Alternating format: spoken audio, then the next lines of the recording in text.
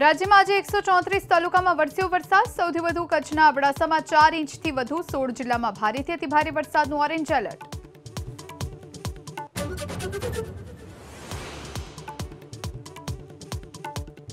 ભરૂચમાં વરસાદી પાણીમાં ઉત્કૃષ્ટ કામગીરી કરનાર પોલીસ કર્મીઓનું જિલ્લા પોલીસ વડાએ કર્યું સન્માન. પૂરના પાણીમાં ફસાયેલ યુવકનું જયેશ પ્રજાપતિએ કર્યું હતું રેસ્ક્યુ.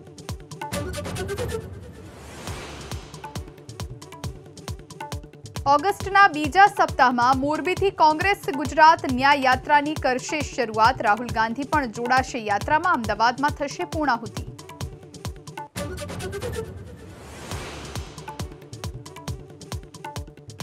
રાજકોટના ફાડગંદ ગામેથી ઝડપાયો બોગસ તબીબ છેલ્લા એક વર્ષથી લોકોના આરોગ્ય સાથે કરતો ચેડા દવા ઇન્જેક્શન સહિતનું મુદ્દામાલ જપ્ત